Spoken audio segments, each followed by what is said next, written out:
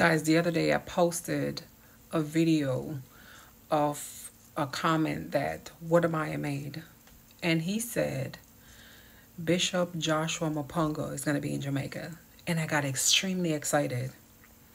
People are asking me, who is this Joshua Maponga? If you don't know, take a quick listen. Listen to my brother.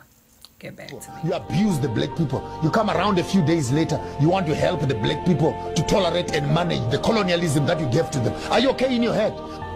When you finish abusing a person, when a person is abused, the most horrible thing you can do after raping someone is, oh, let me help you to clean up. Please, leave me alone. You've done what you, want to, what you wanted to do. Can you just get away from here? Let me find love and comfort from people that care for me. And I'll clean up my wounds. And when I am finally clean and I come back to you and I want to deal with you, you did what you wanted to do and you walked away. When I come back and I do to you what I want to do, you don't have the right of telling me what to do and what not to do. This is where colonialism and politics fail to understand.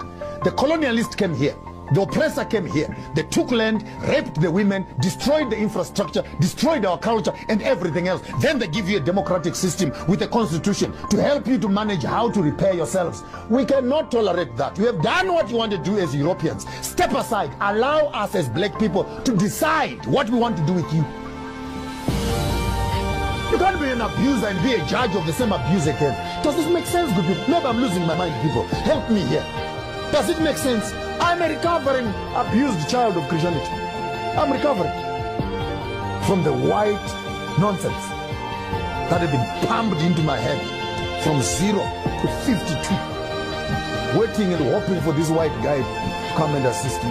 How do you sell me such a horrible thing all my life? And in the morning when I wake up and I say, I have had enough of this junk. No, you can't be saying that. You can't you can't be talking like that because you're you're being insensitive. You you no no no no no no no no no no no. Allow me if I want to cry, let me cry. If I want to scream, let me scream. If you think I've lost my now, head, you understand why I get excited because Bishop Joshua Maponga. Do you hear those words?